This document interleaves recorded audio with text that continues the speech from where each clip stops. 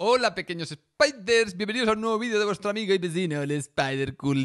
Vamos a hablar del señor Coutinho, porque he estado todo el día muy pendiente de esta información. Se ve que el Barça y el Aston Villa ya han llegado a un acuerdo. Eh, me toca un poco las cojones, voy a hablar del tema, porque al final siempre pienso que el Barça... Eh, está, bueno, voy a intentar... ¡ah! Me estoy volviendo loco, me estoy volviendo completamente loco. Bueno, voy a intentar aclararme las ideas porque este vídeo lo estoy haciendo eh, tipo que estoy arrancando el coche y aún no me he puesto los calzoncillos, ¿sabes? Y, estás sentado en el, coche y dices, hostia, tío, que has salido en pelotas de casa, tío, vuelve a casa antes de conducir el coche, que raspa un poquito la, tapicería de este coche. Bueno, pues estoy un poco así, ¿sabes? Como que entra en el coche y te das cuenta de al poner la llave dices, uy, que tengo la polla al aire, ¿qué, qué hago? ¿Eh? ¿Si conduzco o me voy a casa? Bueno, pues voy, voy a ver si me aclaro. Bueno, vamos a hablar del tema Coutinho porque como estaba diciendo, el tema Coutinho a mí es un tema que me toca los cojones, porque el Barça es un club que ya sabemos que es comprador, no es buen vendedor. Ni Barça ni Madrid, los grandes equipos no son buenos vendedores. De hecho, preguntárselo al Arsenal, que, que, regaló directamente a Aubameyang. Eh, bueno, pues el Barça va a hacer lo propio con Coutinho. ¿Por qué me jode un poco esto? Porque Coutinho empezó bien su etapa en el Aston Villa, se deshinchó como era de esperar, y resulta que decían que quizá el Newcastle podría entrar en una especie de subasta para poder llevarse al jugador brasileño. Y resulta que al final el Barça lo va a acabar vendiendo al Aston Villa por 20 millones de euros. Ni 40, ni 45, ni 35, 20. Porque el Barça lo que quiere es finiquitar lo antes posible esta carpeta, sacarse de encima a Coutinho, asegurarse una comisión en caso o un porcentaje de una posible venta de Coutinho a otro equipo, algo que ya no se va a producir. Coutinho agotará su carrera eh, o su contrato con el Aston Villa seguro porque es que ya está. o sea, si, no, si ahora no hay subasta por él, si ahora nadie viene ofreciendo 35 o 30, si el Newcastle no dice, ah, el Barça se conforma con 20, ah, bueno, pues le doy 35. Si el Newcastle, que tiene pasta, no va por Coutinho, señores, nadie le va a quitar a Coutinho el Aston Villa, excepto que la rompan el Aston Villa y no la va a romper. Ya os digo yo que Coutinho ya no la va a romper. Eh, es un jugador que mentalmente es muy frágil y no va a romper ya nada en ningún sitio. O sea, ya, no, ya le puedes dar un cántaro y un martillo, no te lo va a romper. O sea, le, pegará hostias a, la mesa, a la pared, pero el cántaro no lo va a romper. Ya os digo que no rompe nada Coutinho. Entonces, el Aston Villa se lo va a quedar y, lo va a tener todo su contrato ahí. Eh, y, bueno, y ya está. Bueno, ¿qué pasa con, con Coutinho?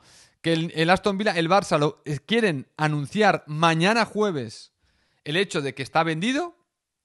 El Barça se quiere ahorrar su salario, que son, he leído por ahí, que son 13 millones y medio al año limpios, lo cual significa que al Barça le cuesta 26, 27 millones al año la ficha de este jugador. El Barça se recupera 20 millones de la amortización de un jugador que no sé realmente cómo, eh, o sea, que va a ser pérdida. No, veo la, manera en la que el Barça puede, creo que llegó en 2018, ¿no? Un tío que costó 120 millones. 120, eh, 120 entre, lleva cuatro años en el Barça. 120 entre cuatro ¿Cuánto te dan? 25, eh, 29 millones al año, ¿puede ser? Bueno, puede ser. 29 eh, millones al año de amortización. No sé si el Barça, no, sé si el Barça hizo los cálculos así. Bueno, ahí dependerá de cómo, de cómo se asumió la amortización del jugador. Pero bueno, el Barça parece ser que con los 20 millones, mm, no sé si son pérdidas. Son, la verdad que me estoy metiendo en un jardín porque no tengo ni la más puta idea. Pero en principio el número me parece ridículo. Me parece una vergüenza que un tío que costó en 2018 120 millones más 40 en variables, el Barça se lo saque encima por 20. Por 20. O sea, y un jugador que dirás, bueno, sí se amortizó. Hombre, se amortizó en términos contables. Si me quieres en términos contables, te lo dejo pasar, no tengo ni puta idea de contabilidad, con lo cual, si me dices, no, es que Spider, mira, divides los 120 por 4, vale 29 y tal, y, te diré, vale, vale, pues, bueno, si tú lo dices, tío, pues vale, pues ya está, te compro la idea que, que se amortizaron 29 millones de euros al año, eh, al año durante cuatro años para llegar a esos 120, vale, más, más el salario, bueno, vale, el salario es una parte productiva, no se, no se amortiza, vale, perfecto, pero entonces dices, vale, se amortizará, voy a poner entre comillas, ficticiamente a nivel financiero, pero coño, a nivel deportivo, no me jodas. Un tío que nos costó 120, lo vendemos por 20, ha estado cedido en varios equipos y cuando ha estado aquí entre lesiones y mal rendimiento, amortización deportiva, aquello del dinero no en el banco, en el campo, madre mía.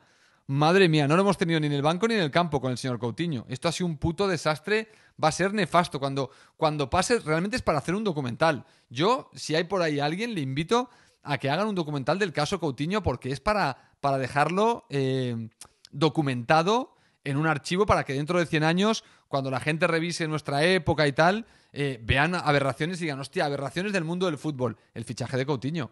Madre mía, o sea, eh, eh, lo que pagó el Barça por Coutinho, el, capricho de traer a Coutinho, al Barça le va a salir la torta a un pan. O sea, es que es ridículo.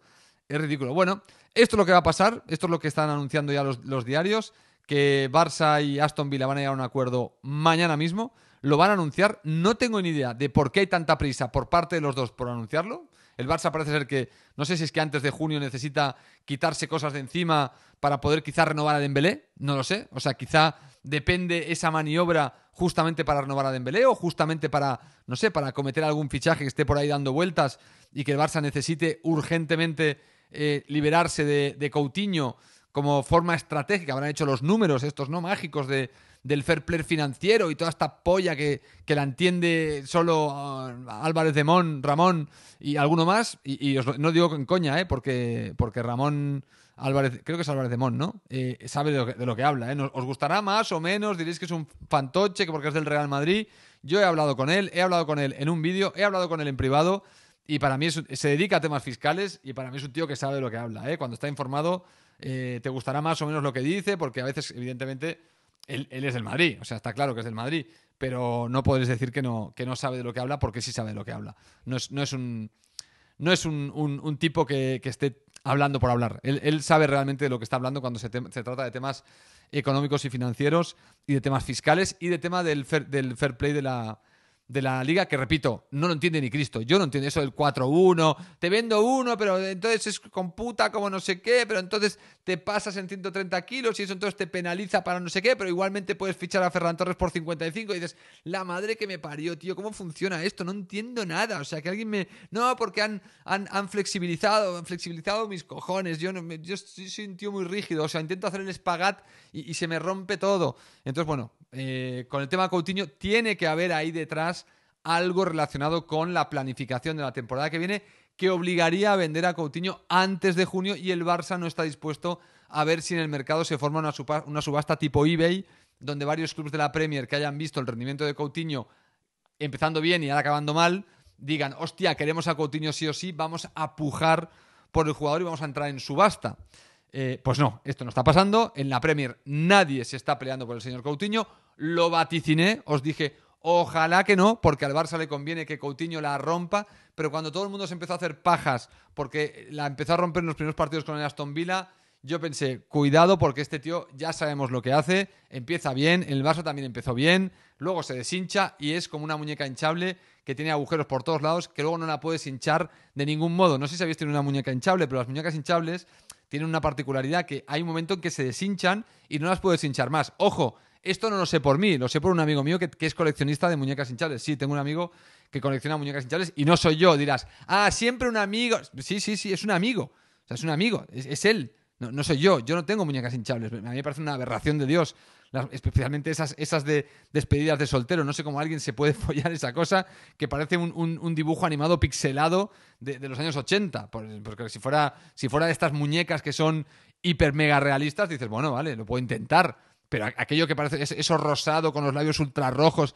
que parece que lo haya hecho un niño de 6 años en, manualidades del colegio. Esto es una muñeca hinchable. Esto es una tía, fóllatela. ¿Qué dices, loco? ¿Estás, ¿Estás zumbado? ¿Cómo voy a follar yo esta muñeca hinchable? ¿Estás pirado? O sea, pero yo no veo una muñeca hinchable, yo veo la pantera rosa aquí. Pero bueno, ya, ya sabéis que en el mundo hay gustos para todo y hay gente pues que ante la falta de mujeres de verdad pues una muñeca hinchable le, puede funcionar y hay gente en el monte que va con ovejas, porque dicen que las vaginas de las ovejas son muy parecidas a las vaginas humanas. Tampoco lo sé, o sea, yo esto no lo he certificado, no lo toméis como Spider Certified. No, no, yo no lo he certificado, no tengo ni la más puta idea si las vaginas de las ovejas son como las de las mujeres humanas. No lo sé, son mamíferos quizá mm, por una casualidad del destino sí tienen semejanza. Yo no he visto una vagina de una oveja en mi vida vaginas de mujeres bastantes y, no sé, no, no, puedo, no, puedo decirte. Pero sí que dicen, por ahí en las granjas, que, se follan en la elección de follarte un animal de la granja, vas a por la oveja porque es la que tiene la vagina más parecida al de la mujer. Bueno, yo creo que esto lo dicen eh, granjeros que no han estado con una mujer. Entonces dices, ¿cómo sabes que es la más parecida? Amigo, ¿eh? ah, porque es la que me gusta y estoy biológicamente programado para que me gusten esas y no las otras. Por lo tanto, asumo que son las que se parecen a las... me, estoy, me estoy yendo a cagar, a la, a la, mierda me estoy yendo con esto, con esto de las vaginas de las ovejas. Bueno, señores, es igual. A ver, eh, repito, Coutinho es como una muñeca hinchable, ya está. Este, esta es la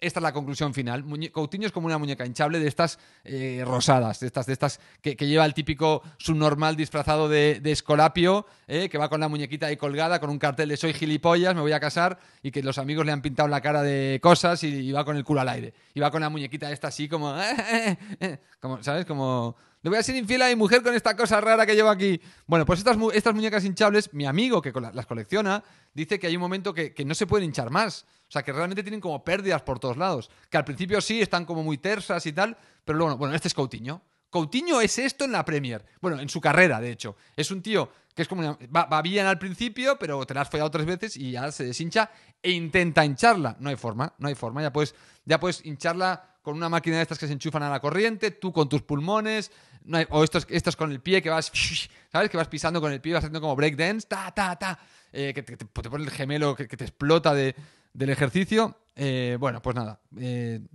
Coutinho es una muñeca hinchable y el Barça la va a vender por 20 millones de euros. Que ojo, una muñeca hinchable de 20 millones de euros de la marinera.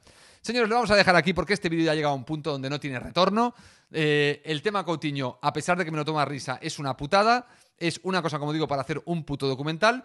Y cuidado que no lo haga yo y le llame Coutinho is a, fucking doll. ¿Cómo se llamaría en inglés? Bueno, directamente pongo el título en español y a tomar por culo. ¿Por qué, lo voy a hacer en inglés?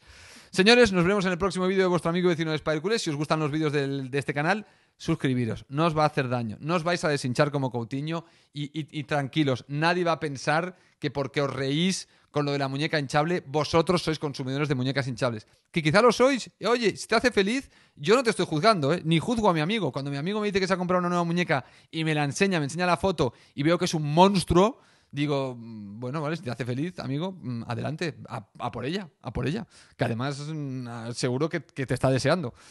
Señores, nos vamos a ir a la mierda todos. Nos vemos en el próximo vídeo. Chao.